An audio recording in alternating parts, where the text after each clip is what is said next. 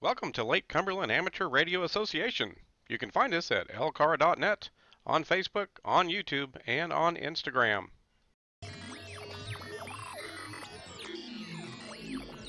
If you're enjoying the videos we're producing here at LCARA, please help our club out by hitting that subscribe button. Also, give us some feedback on our videos. Click the like button, share with anybody who may find it interesting, and be sure and hit the bell icon to make sure you get notified of the next video release.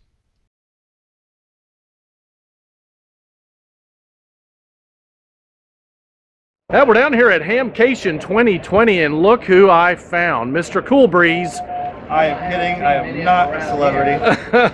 Hello, everyone. KJ4YZI. It's just a pleasure to be here at Orlando Hamcation. My gosh, I'm so excited. I'm so excited. I have no reason to go out anywhere and make video. It's all happening right here at the booth. Just amazing. Thank everybody. The activity's just coming towards you, man. It's exciting. It, I mean, it's exciting. It really is. Absolutely. Yeah.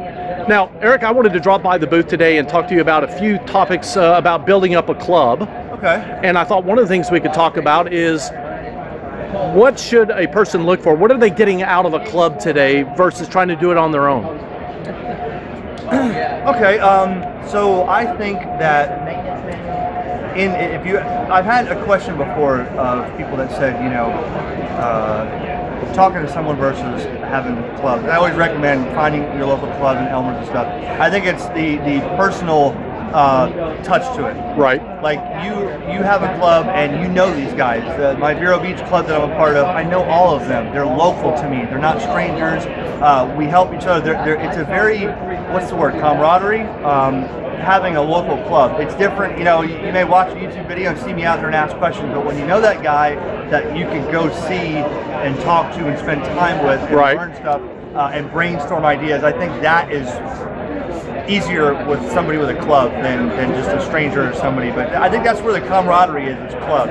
You know, uh, and that's um, if that answers your question. Well, there's a lot of things you can do on your own today, but I just find like the knowledge that you have, that um, institutional knowledge, if you will, of, of the Elmers and so forth in a club is well, just every, so valuable. And everybody in a club has a different experience. Right. Everybody, you know, you have this guy's been doing it 50 years, this guy's brand new, this guy's been doing it for five years, and you mix all that together, it's a melting pot. And and you, you know, having a club is, is just a big deal. And I didn't realize that until I met these guys at the Vero Beach Club. I didn't realize the the uh, reward of, of that. Right. You know, I figured, oh, it's just a club. You know, there's car clubs, big big deal. You know, but it, it really makes a big difference uh, when you have people like that. Awesome. yeah. so Eric, um, ham radio has so many tangents today with digital and everything else that's going on. What's what's exciting to you about ham radio today that could help bring people into the hobby? Well, this can go exciting for different reasons, different exciting things for different people. To me, I think what's exciting is the fact that how do I wow, I can go anywhere with this. I'm going to answer it like this. I think the most exciting thing is space communications.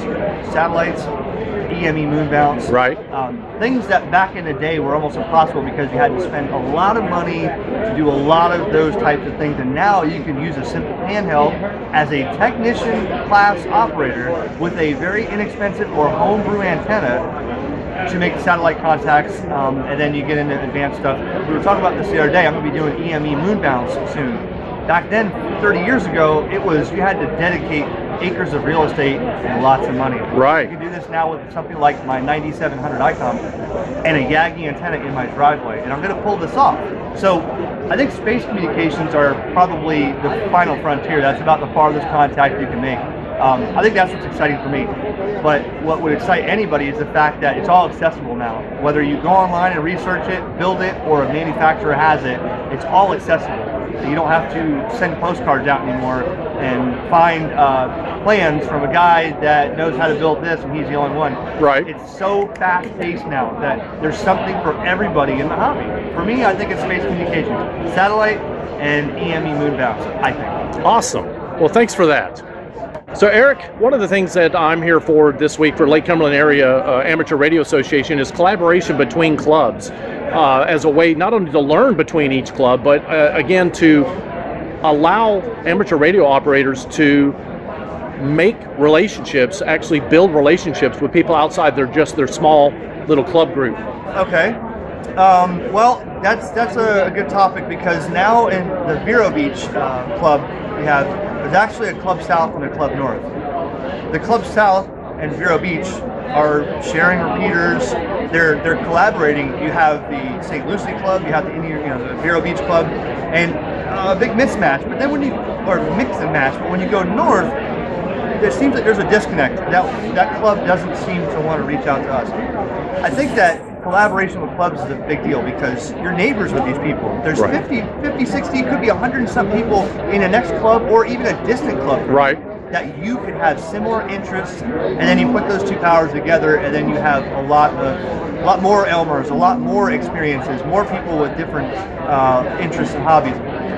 I think that clubs should reach out, and talk to each other, and, and make that, you know, to be honest, there's going to be somebody that's maybe not as friendly as this one, but there's always people in a club that want to reach out and talk to neighboring clubs or other clubs to get together. Once you establish that communication, once you establish that, that bond, it turns into a lot of things. Uh, you know, if there's a uh, search and rescue event, if there's a natural disaster, if there's just a fun field day, mm-hmm. you have these people from this club, your people from your club, all the things that come together between it. I think collaboration between clubs is good. To do that um, may vary. I, am really not sure how you would go about starting that, but find first find the clubs that are in your area, find out what they're interested in, and visit.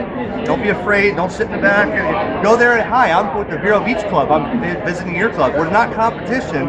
There's no walls and best of and who's better just go there and talk, meet with them. Hey, come to our club meeting one night, and eventually you strike that that uh, that bond, and you guys are you know collaboration. Absolutely. If, that's uh, makes sense.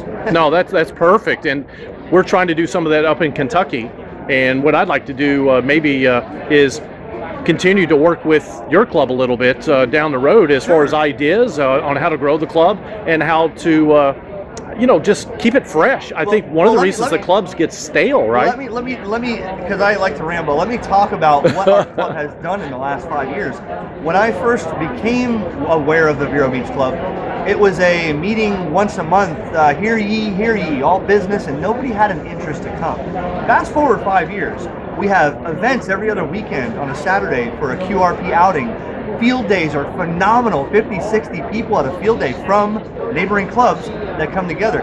It's turned into you know kit night on friday. Bring a kit bring a, a radio that you want to repair. You've got 40 50 people that are that can read schematics with their eyes closed right. that are all through it and some people that want to learn that. You're teaching that person but answering that question and fixing this all at the same time. That's kit night. And then you have your meetings. It, it's turned into a uh, really a once one of a kind situation. There's always something happening. In the beginning, it wasn't like that. So maybe find some members and invite them in that are interested in kit night or interested in portable events. Start with two, three people. Go out. Next thing you know, you'll have a winter field day event like we do with a trailer loaded with equipment. People out there wanting to do antennas and everybody having fun and making contacts. By the way, the bands are not dead. Call CQ. Don't be a scope head.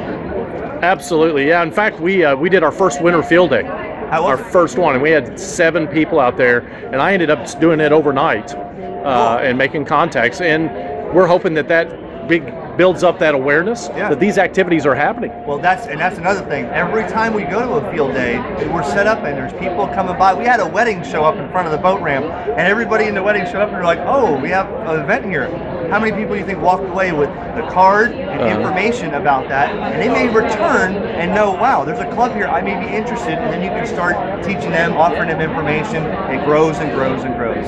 Awesome. Eric, I want to thank you for taking some time this afternoon for uh, sitting down with us. My pleasure. I thank you for uh, this, and it's great here at Orlando Hamcation 2020. If you haven't been to a Hamcation, there's more than just this booth right here. There is so much stuff I have to go around and still check out. So 7-3 and visit Hamcation or Hamfest in your area. Thanks again, Eric. Thanks, step three.